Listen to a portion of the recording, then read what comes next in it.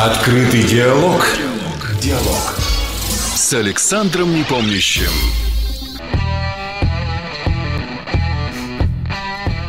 Наш эфир продолжает встреча с Александром Непомнящим. Здравствуйте, Александр. Добрый день, здравствуйте, Сергей. Неомарксизм. Что это за идеология и чем она угрожает и к чему может привести теоретически или практически? Да, Сергей, действительно. В последнем времени это понятие стало таким эндемиком Руси и кулуарных Но погромы в магазинах, поджоги полицейских над статуями, которые прокатились по городам США в последние месяцы, наряду с совершенно беспрецедентным размахом подавления свободы слова в социальных сетях, прочно внедрило это сознание в, рядовых, э, в сознание рядовых американских обывателей. И, к слову, то же самое случилось и с израильтянами, которые с изумлением обнаружили абсолютно схожих хулиганов, только уже теперь на проспектах Иерусалима и Тель-Авива в последние недели. За всеми этими беспорядками и в США, и в Израиле, и подавлением свободы стоят десятки тысяч социальных организаторов, прошедших неомарксистский тренинг. И они сами совершенно не скрывают и с гордостью называют себя обученными марксистами. И не скрывают, что цель их уничтожение капитализма и всего западно-либерально-демократического общества. Но действительно, что же это такое и почему эти люди вообще решили, что у них хватит сил уничтожить все, что мы называем западной цивилизацией? Речь идет о собирательном термине, обобщающем широкий спектр кружков, групп, движений, организаций, которые охватывают все разнообразие культурных террористов, атакующих сегодня ценностную базу западного либерально-демократического общества и добивающихся ее тотальной делегитимации и отмены. И атака идет, как мы видим, на всех фронтах, от Твиттера до Фейсбука, от Голливуда до СМИ, от университетских кампусов до правления крупнейших корпораций, от уличных беспорядков, которые они разжигают, и вандализма, до отрицания таких понятий, как рациональное мышление, объективность, норм языка и вообще многих других вещей, которые были теперь объявлены проявлениями белого расизма. В какой мере вообще корректно называть всю эту совокупность левых теорий, безумных и практик неомарксизмом, подразумевая, что ноги у нее растут из классического марксизма. Э, по этому поводу я беседовал с э, профессор, доктором политологии Эфраимом Подоксиком, преподавателем политологии в Еврейском университете. И он считает, что с марксистами современных неомарксистов прежде всего связывает использование схожего идеологического подхода. Понимаете, увязывание конкретных исторических событий и их последствий с современной реальностью, даже если подобные выводы могут быть по меньшей мере спорными.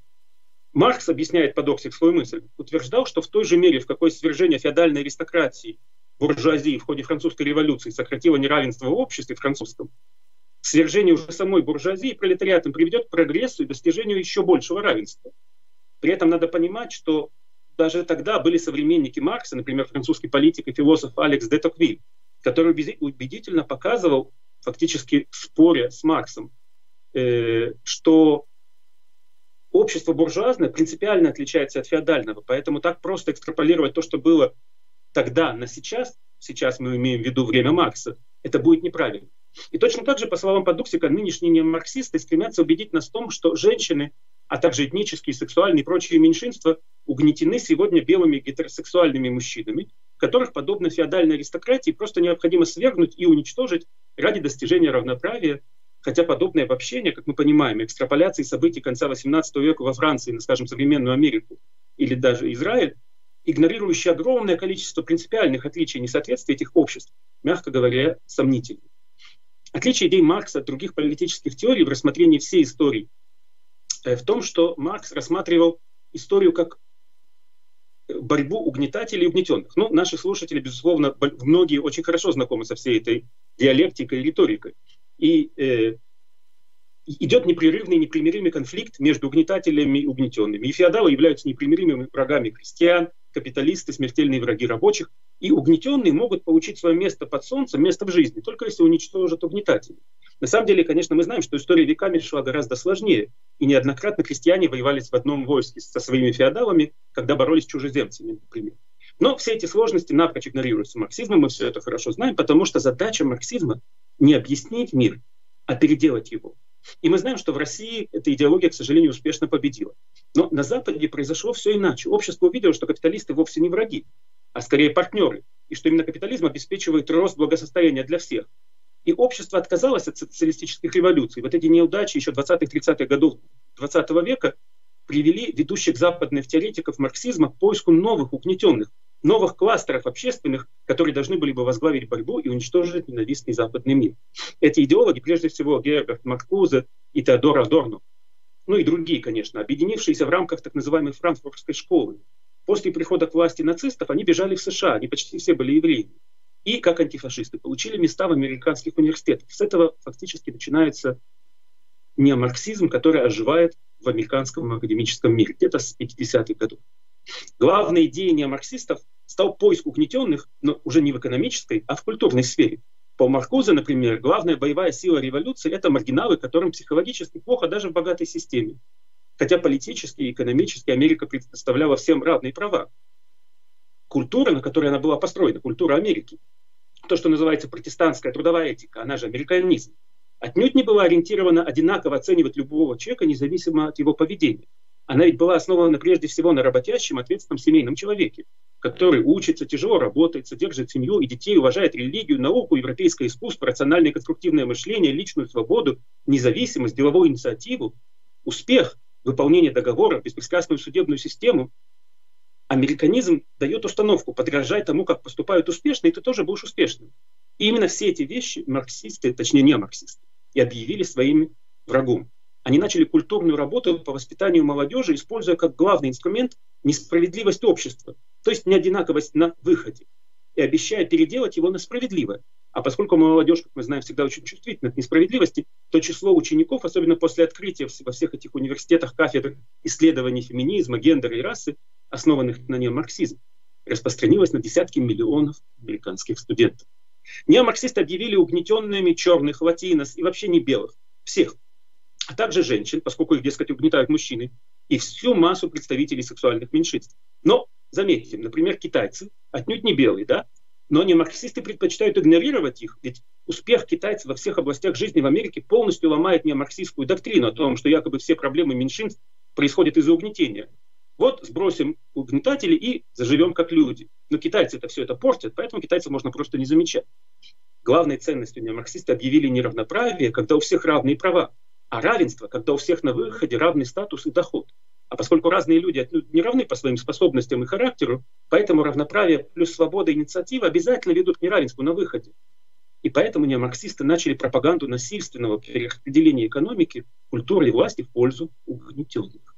И сегодня, когда доктрина расовых и гендерных наук, получившая распространение среди огромного количества людей, объявляющих себя докторами всех этих э, и профессорами всех этих э, выдуманных псевдонаук, когда они получают все свои степени на немарксистских кафедрах, и их исчисляют уже десятками тысяч, они хотят власти, денег и статуса. Это реальный кластер общества, который добивается своего места под солнцем, фактически как бы требуя, чтобы признали их заслуги выдуманные, псевдо, будучи специалистами в псевдонауках, они хотят, чтобы их принимали как настоящих экспертов. И для этого они требуют создать для себя рабочие места таких вот комиссаров по равенству и предотвращению угнетения. Собственно, теперь это уже не, не э, пустые слова, это так и есть. Не только в каждой правительственной и муниципальной службе, но на каждом заводе, фирме и компании. А кто не подчинится тому обвинение в расизме, изгнание с работы, бойкот, судебные преследования, травля в соцсетях и СМИ, и в крайних случаях даже физическое насилие. Мы знаем, что случаи реального физического насилия и смерти людей, которые противостоят этому, они уже стали нередки в Америке. Ну а массы для своей борьбы они организуют на свою поддержку классическим марксистским способом. Вам плохо, у вас не хватает, значит, это отобрали у вас враги. Ведь мы хорошие вам, и вы хорошие, и вам положено. Так давайте вместе найдем этих врагов и раскулачим их отнимем у богатых и распределим на всех. В этом, кстати, причина того, что сегодня неомарксисты объединяются с исламистами. Казалось бы, какая связь между отрицающими религию неомарксистами и фанатичными религиозными мусульманами? Но связь это вот в чем. Мы оба на стороне угнетенных против успешных. А успешный является угнетателем уже потому, что он успешный, понимаете? Именно поэтому не марксисты ненавидят Израиль, ведь Израиль успешен, а палестинские арабы бедные. Это автоматически означает, что Израиль угнетатель, и не марксисты стоят на стороне угнетенных арабов. И на какие бы уступки израильтяне не пошли, мы всегда, израильтяне, останемся преступниками и угнетателями, пока не опустимся до уровня угнетенных. И сегодня не марксисты под лозунгами «устранить несправедливость» начали тотальную войну на уничтожение Запада и капитализма. Точно так же, как сто лет назад в России и в СССР эти лозунги увлекали не только угнетенных, но и огромную массу молодежи, особенно выпускников университетов, поскольку для них справедливость – это наше все.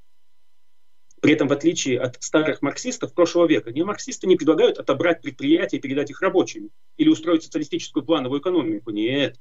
Современный американский неосоциализм гораздо прагматичнее.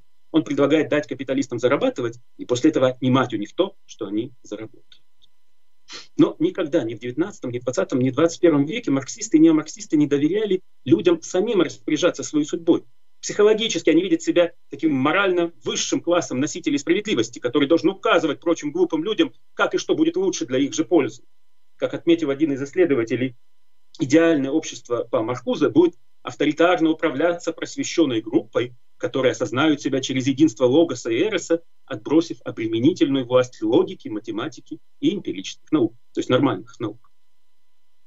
Другим фактором, объединяющим все неомарксистское многообразие с марксистами прошлого, являются общие исторические корни, восходящие в том числе и к активной подрывной деятельности, которую вел Советский Союз и которая была направлена в первую очередь против стран Запада. На протяжении практически всего XX века СССР и его вассальные государства создавали, финансировали, обучали и поддерживали многочисленные марксистские движения и структуры по всему миру. Это были компартии стран Западной Европы, арабские террористические группировки, общественные кампании за ядерное разоружение и все остальные подобные структуры.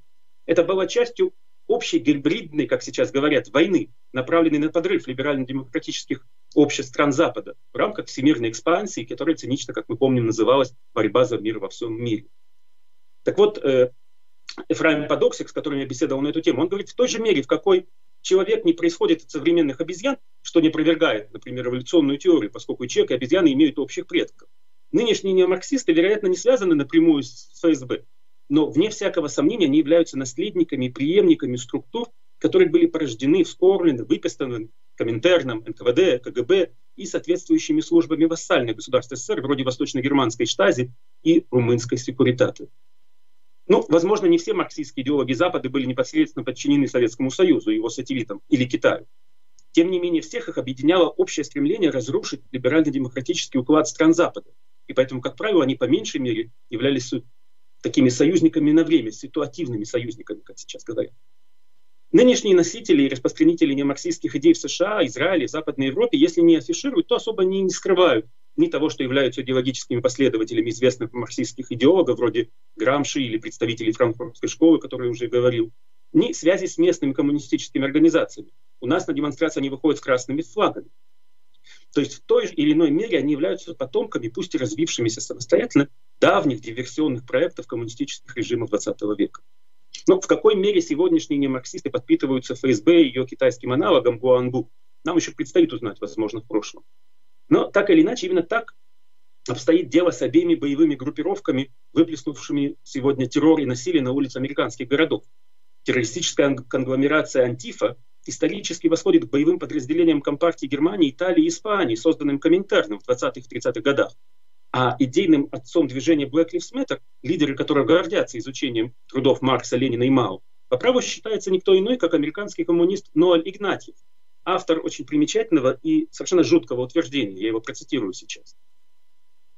Очевидно, что все белые должны быть уничтожены. Это цитата Ноэля Игнатьева, создателя Black Lives Matter. Почему же начинать следует с белых мужчин?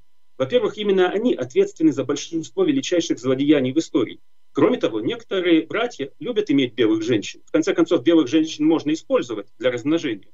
Если же вы белый мужчина, я думаю, вы немедленно должны себя убить.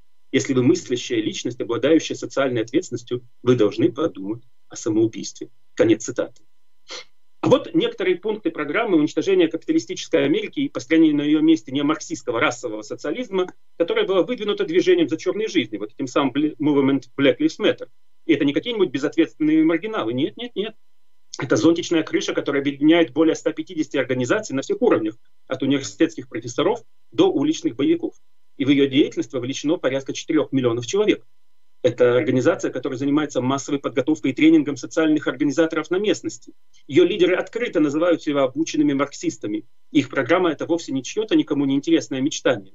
Она во многом вошла сегодня в новую программу Демократической партии США, которая будет идти на ноябрьских выборах. Слушайтесь еще раз. Я буду читать вам то, что во многом вошло в программу Демократической партии США, за которую, может быть, кто-то из, вас, из слушателей наших по-прежнему думает голосовать. Так вот, что, среди прочего, они говорят, я опять цитирую. Мы антикапиталисты. Мы верим и понимаем, что черные люди никогда не добьются освобождения при нынешней глобальной расовой капиталистической системе. Мы требуем черной политической воли и власти. Тюрьмы и полиция должны быть упразднены и заменены учреждениями, которые обеспечат процветание черных. Мы планируем вынести в центр опыт и лидерство самых маргинальных чернокожих людей. Мы требуем освободить заключенных, приостановить все действия против нелегальных иммигрантов. Все задержанные должны быть немедленно освобождены, и им должны дать статус иммигрантов.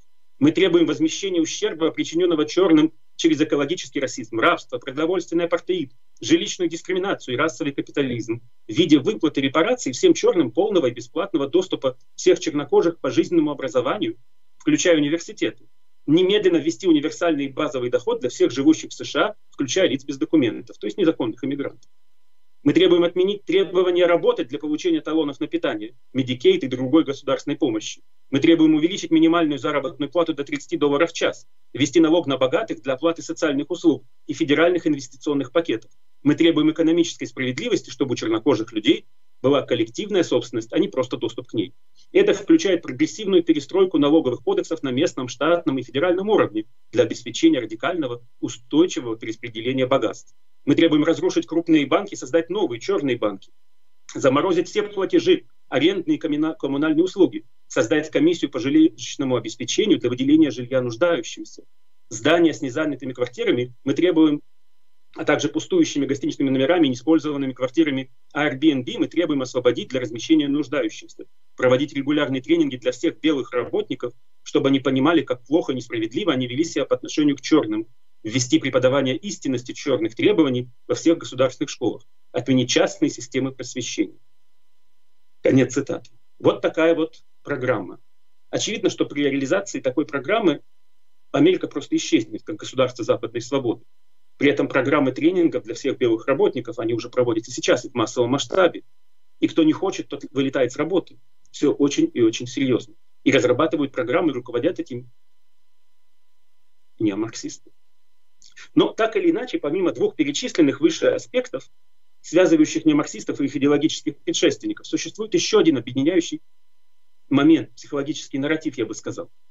Правые идеологические модели, как правило, считают общество людей очень как бы разным, с разными целями и задачами, и всегда не идеальным, что нормально. Поэтому цель в правых идеологических моделях ставится как можно меньше мешать людям жить, и пусть каждый строит свое счастье, как он хочет. А проблемы являются объективным следствием несовершенства всех людей. Поэтому правые, как правило, предлагают решать возникающие в обществе противоречия интересов с помощью так называемого общественного договора, своего рода соглашения, которое оптимизирует взаимные выгоды всех его участников и одновременно минимизирует потери и ущерб каждой из сторон. Такими документами, например, являются Конституция США или Декларация независимости Израиля. А вот левый подход, он изначально подразумевает возможность создания идеальной утопии, в которой будут решены все-все-все общественные конфликты. Левые идеологи считают, что они лучше самих людей знают, что нужно человеку для счастья, да? И они, это счастье должно быть для всех одинаковым. Проблемы же являются результатом деятельности вредоносных злодеев, например, богатых или белых, или интеллигентов, или, как мы знаем, в национал-социалистической Германии, евреев и так далее. Поэтому левый подход предлагает решать проблемы не путем достижения общественного договора, а через выявление вот этих самых злодеев, определение их и полную ликвидацию. Ну и из богатого исторического опыта, накопленного в 20 веке, целым рядом стран, к сожалению, включая Россию, Германию, Китай, Кампучию и другие. Известно, что после того, как ликвидация объявленной врагами группы населения не приносит желанного результата, то есть счастье не наступает, даже когда всех богатых перебили, определение врагов расширяется и переносится на новую группу, которая также подвергается уничтожению. В итоге левые общественные модели неминуемо пожирают себя сами. Но скорость коллапса такого государства зависит как от одиозности идеологии, как мы видели в Кампучии, например, так и от ресурсов страны, подвергнутой этому жестокому эксперименту, как мы видели в остальных странах. Таким образом, сегодняшние неомарксисты, считающие возможным достичь идеального общественного порядка путем разрушения расистских государств, например, США и Израиля, и подавления, соответственно, белых евреев, подобным марксистам, надеявшимся прийти к идеалу через диктатуру пролетариата, вполне вписываются в этот общий левый психологический нарратив. Иначе говоря, неомарксизм, подобно классическому марксизму, использует тот же спорный понятийный аппарат.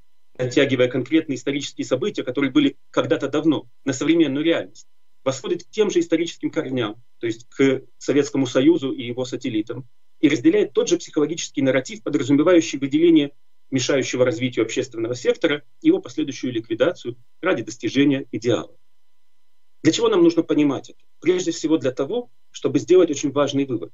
Несмотря на то, что различные неомарксистские кружки, организации, структуры, судя по всему, не имеют централизованного руководства, нет какого-то главного заговора правительства в теневого, все они, как и классические марксистские движения, объединены общим радикальным неприятием современного либерально-демократического общества и его ценностей, а также, подобно своим историческим предшественникам, готовностью использовать насилие для достижения политических целей. И прежде всего, главное из них физического, интеллектуального и культурного уничтожения современного западного общества как такового. И поэтому борьба с белыми привилегиями, как и декларируемое стремление исправить реальные или мнимые несправедливости в отношении тех или иных меньшинств, это только предлог, вы поймите. Неомарксисты не собираются исправлять либерально-демократическое общество. Они намерены воплотить в реальность знаменитую строчку из э, интернационала «Весь мир насилия мы разроем». И достижение этой цели они собираются воспользоваться всем арсеналом доступных им средств. Но в отличие от маргинальных радикальных правых идеологий, призывающих к созданию или усилению общественного неравенства, что для подавляющей части современного общества абсолютно нелегитимно сегодня, неомарксизм, напротив, апеллирует в своей повестке дня к достижению равенства, что воспринимается законным и справедливым требованием. И именно поэтому неомарксизм является, по сути, сегодня единственной экстремистской идеологией, которая всерьез угрожает либерально-демократическому западному обществу. И используя обманчивую правомерность повестки дня, он усыпляет бдительность и иммунитет общества. И мы видим, как неомарксизм шагнул далеко за рамки своей прежней маргинальности, которая, о которой мы могли говорить еще лет там, 5 или 7 назад. Хуже того, в последние годы неомарксисты обрели союзников в широких кругах левого истеблишмента. Ведь что произошло? Левые утратили надежду добиться успеха в демократических выборах и в Америке, и в Израиле. Левые опрометчиво сейчас верят, что они смогут вернуться к власти с помощью вот этих агрессивных боевиков-коммунистов. Как видно, не думая и не осознавая, что в случае победы неомарксисты сметут их вместе со всеми остальными институтами либерально-демократической модели, которую они так ненавидят. И в итоге именно неомарксисты сегодня контролируют дискурс в большинстве средств массовой информации, в системе образования, в школах, университетах, в кампусах, в социальных сетях, в интеллектуальном пространстве, в целом на улицах. При этом, обладая всеми необходимыми рычагами влияние без малейших колебаний используют насилие, как интеллектуальное, так и физическое, для продвижения своего нарратива и подавления всякого инакомыслия. Так, масштабное подавление свободы слова, насаждение так называемой cancel culture в социальных сетях, СМИ и в целом в общественном дискурсе, вся эта травля и даже физическое преследование инакомыслящих происходит под эгидой мнимой борьбы с языком ненависти. А подрыв национальных, традиционных, семейных ценностей объявляется защитой прав меньшинств разрушение государственных границ обеспечением прав мигрантов, а лишение демократических институтов защиты от посягательств глубоко чуждых и враждебных демократий структур, вроде радикальных исламских группировок и, прежде всего, братьев-мусульман, конечно, подается как борьба с исламофобией, совершенно верно. И, наконец, подрыв экономики, науки, культуры и, собственно, основополагающих ценностей и принципов всей западной цивилизации декларируется как отказ от белых привилегий и всех ее проявлений в том числе научного подхода, рационального мышления, объективизма, стремления к успеху, индивидуализма и других качеств, несущих в себе порочную белую, э, как бы бе, порочную белизну.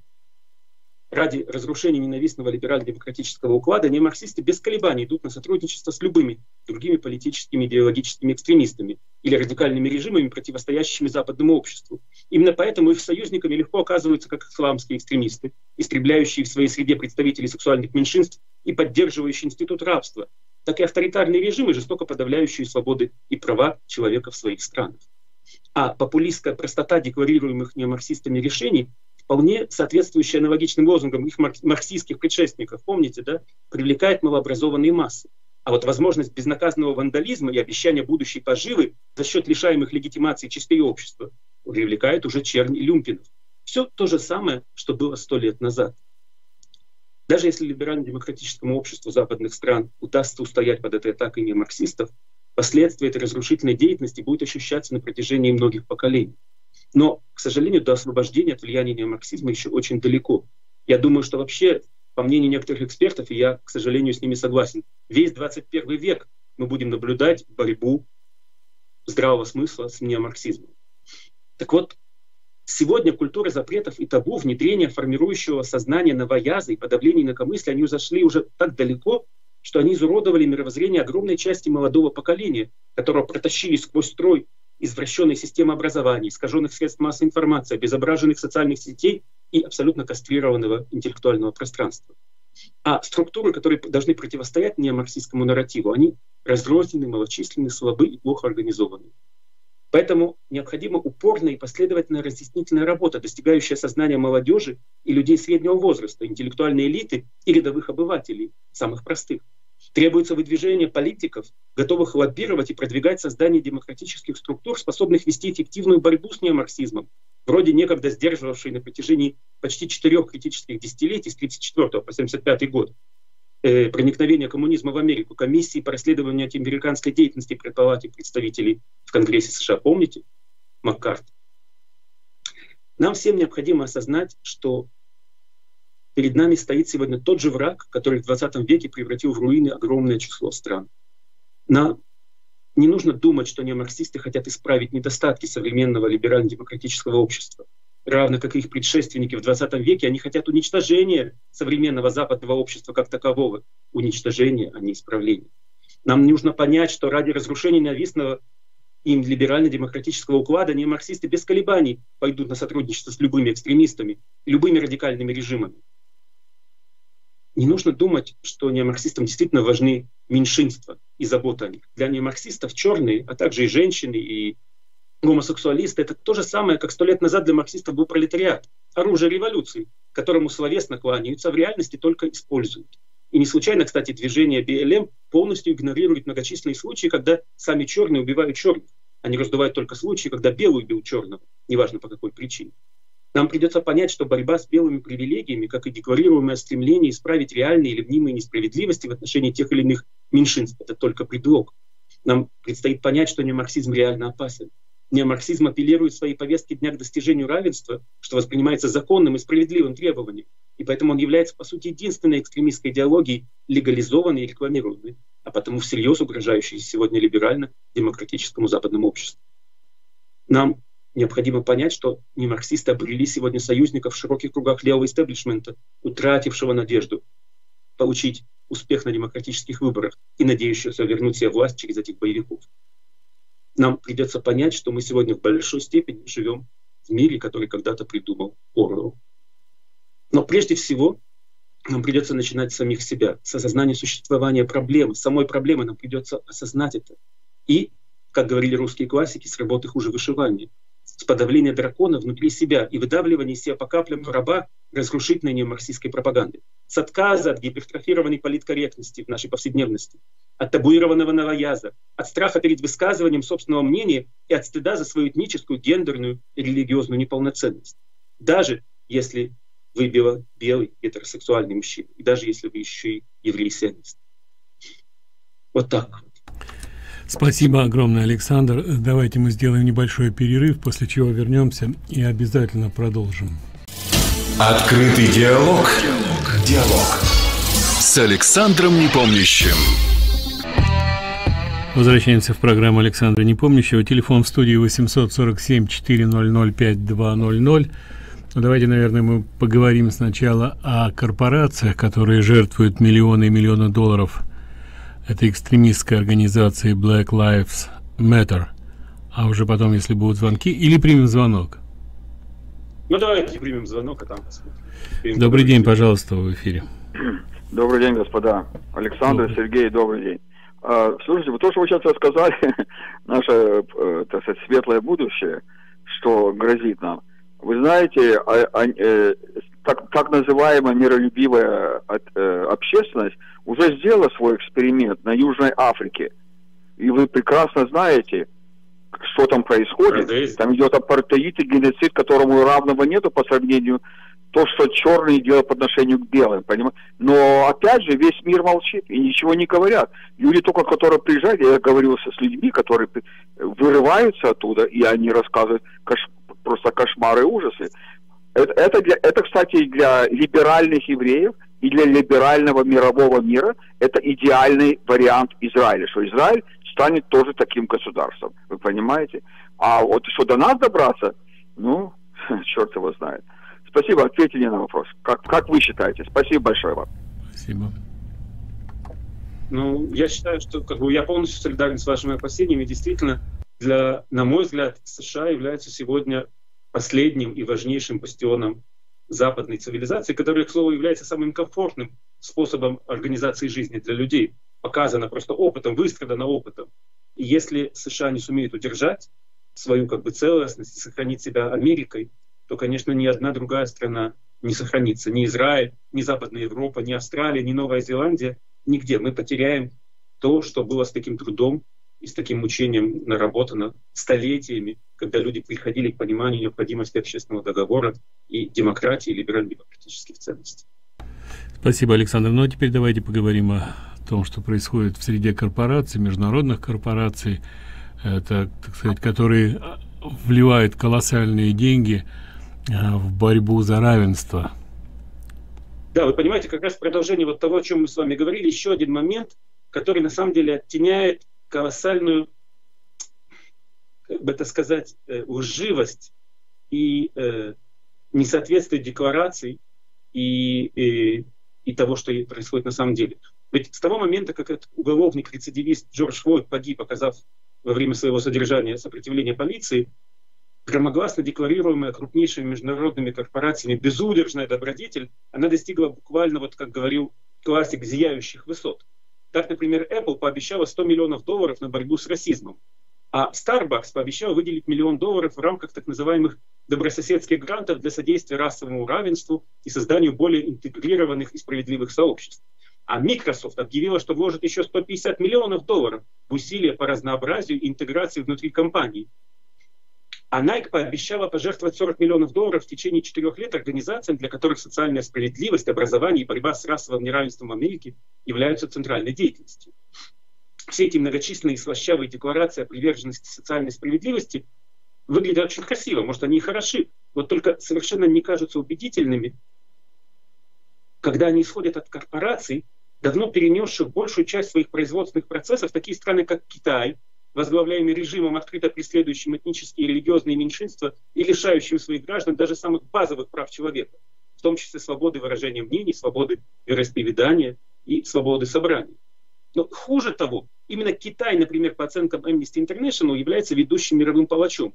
И Китай же продолжает оккупировать Тибет, в который он вторгся в 50 году и переместил туда миллионы этнических китайцев, чтобы китаизировать этот район но, мягко говоря, непоследовательность компаний, трубящих своей приверженности, справедливости и равенству у себя дома, в США, но не испытывающих ни малейших угрызений совести в том, что касается ведения бизнеса за границей с режимами, являющимися едва ли не самыми ужаса ужасающими и грубыми нарушителями прав человека в мире. Этим ведь только не ограничивается. Nike и Apple, и Microsoft, и Samsung входят в список 83 транснациональных компаний, которые, как стало известно в марте из отчета Австралийского института стратегической политики, используют принудительный труд уйгуров на китайских фабриках. Китайское правительство способствовало массовому перемещению уйгуров и представителей этнических меньшинств других из Дальнего Запада, западного региона Китая Синьцзян на заводы по всей стране, говорится в отчете. В условиях, которые очевидно предполагают принудительный труд, уйгуры работают на заводах, которые входят в цепочки поставок по меньшей мере 83 известных мировых брендов, в сфере технологий, одежды и автомобильной промышленности. И мы говорим об Apple, мы говорим о BMW, о Gap, о Huawei, конечно же, о Nike, о Samsung, о Sony, о Volkswagen. По оценкам этого отчета, отчета более 80 тысяч уйгуров были направлены из Синьцзяна для вот этих принудительных работ на фабриках по всему Китаю в период между 17 и 19 годами.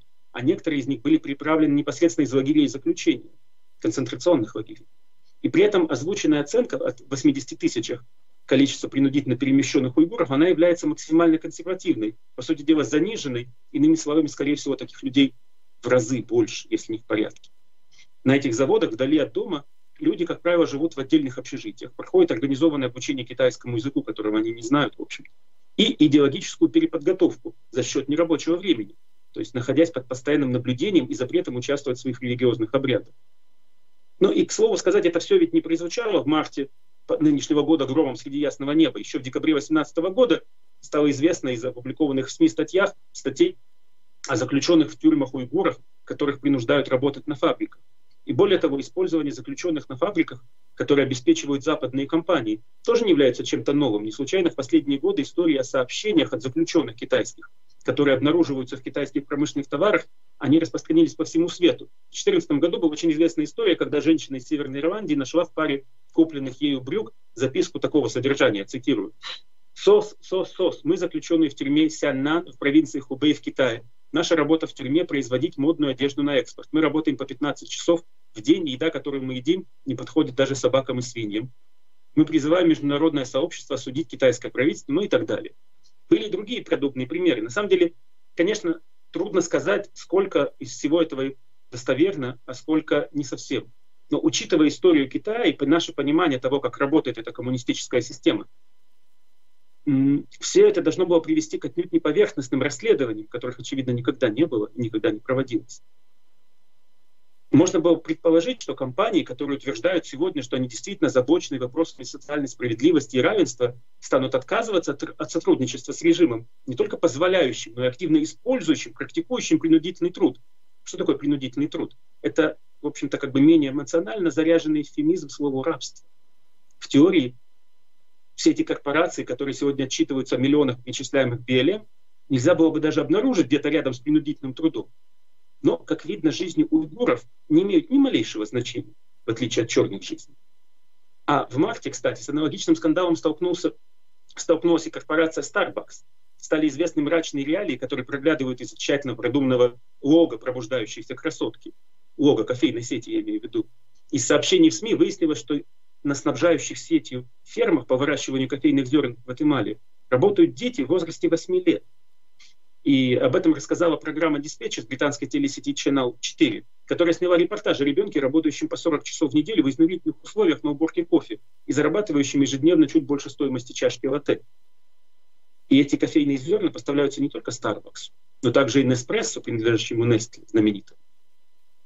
Там же было рассказано о детях лет 8, которые работают почти по 8 часов в день, 6 дней в неделю. Платят им в зависимости от веса кофейных зерен, собираемых ими в мешки, весящие до 45 килограмм. И, как правило, ребенок получает меньше 5 фунтов стерлингов. Ну, считайте, меньше 6,5 долларов США в день. Ну, когда все это стало известно, Starbucks и Nespresso немедленно заявили о своей нулевой терпимости к подобной практике, та-та-та, тролливали, все понятно. И Starbucks даже сообщили, что они не стали брать зерна кофе самого последнего урожая у этих ферм. Хотя собранный там урожай 2019 года они такие использовали. И вот трудно найти более точное определение лицемерия, чем вот это настойчивое провозглашение собственного пробуждения и миллионов перечисляемых ПЛМ на фоне полного отсутствия должной заботы о том, чтобы с людьми, работающими в длинной цепочке поставок, обращались в соответствии с хотя бы самыми минимальными рабочими правами, например, запрещающими детский рабский труд. Но жизнь гватемальцев, очевидно, тоже не имеет ни малейшего значения, ну, по крайней мере, до тех пор, пока СМИ молчат обо всех этих вопиющих нарушениях. Корпоративные гиганты, безусловно, были бы куда более успешны в обсуждении, в убеждении общественности в том, что они действительно заботятся о социальной справедливости, равенстве и общинах, которыми они, по их утверждению, служат, которым. Если бы эта забота проявлялась не только в заявлениях, наполненных декларациями собственной добродетельности, но в деловой практике например, неиспользование принудительного труда и детей в цепочках своих поставок. Но на практике мы видим, что этого не происходит. И подводя итог всему этому, нельзя не заметить, что обещание передать крупные средства Black Lives Matter вот этой самозваной марксистской организации, утверждающей, что ее целью является создание альтернативы капитализму, но мы об этом говорили только что очень подробно, убеждает лишь в одном – в желании корпораций хоть как-то оседлать последнюю волну беспорядков и заработать себе легкие очки в общественном мнении и прибыль. Ну или, может быть, они просто хотят откупиться в надежде стать последними в ряду приговоренных марксистами-капиталистов. Кто знает. Телефон в студии 847-400-5200. Были попытки дозвониться. Вот сейчас у нас еще осталось несколько минут времени, когда вы можете позвонить в студию, задать вопрос Александру. Александр постарается на него ответить. Давайте попробуем принять звонок. Добрый день, пожалуйста, в эфире. Здравствуйте. Вы знаете, проблема какая? Дело в том, что те, которые подсели на иглу вот этих вот э, бенефитов бесплатных, они так и думают, что э, если придут вот миллионы еще э, всяких нелегалов и все прочее, все равно у них те же бенефиты останутся. Я вот разговаривала с такими людьми, такое впечатление, что они такие тупые.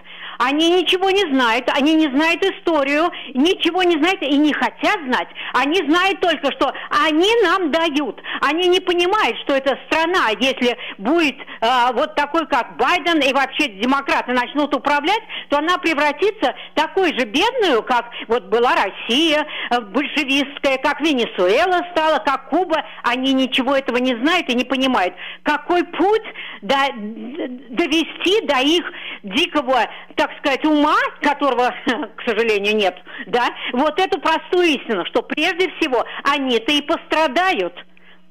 Спасибо за ответ. Спасибо. Ну, что можно ответить? Я могу сказать только, что оставьте тех людей, которые далеко. Займитесь вашей ближайшей окрестностью, вашими детьми, вашими внуками, вашими близкими, друзьями, родственниками, которые сегодня могут совершить роковую ошибку в ноябре. Попробуйте изменить мнение, убедить хотя бы одного человека в вашей окрестности. Это может очень помочь. И действительно поймите, что сегодня, защищая демократию в Америке, спасая Америку от э, наступления этих неомарксистов и приводя к власти Трампа, вы защищаете не только вашу страну, вы защищаете весь мир, по сути дела, потому что если Америка не удержится, если она рухнет, то рухнет все. И погибнет вся западная цивилизация, и мир на века обрушится в страшное черное средневековье, которое, в общем, мы из истории мы знаем очень хорошо. Поэтому все очень и очень серьезно. Добрый день, пожалуйста, в эфире. Добрый день, Сергей, добрый день, Александр. А, Владимир Кейс Виллинга. Я вот хочу просто как пример привести. Я недавно так на мессенджере, на э, Фейсбуке спустился э, со своей внучатой племянницей, внучка моего родного брата. И человеку 22 года, мастер дегри, медикал, там какие-то терапист. И вот она мне выкатывает.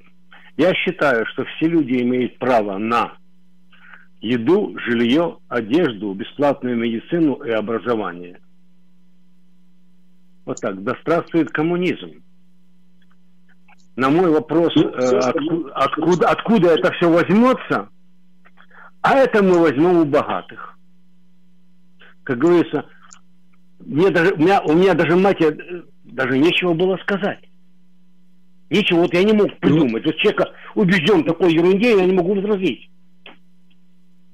Владимир, вот именно к этому себя нужно готовить, именно к разговору не с абстрактными людьми, а своими ближайшими родственниками, детьми, объясняя им медленно, осторожно и последовательно, что богатство Америки, оно не берется из воздуха.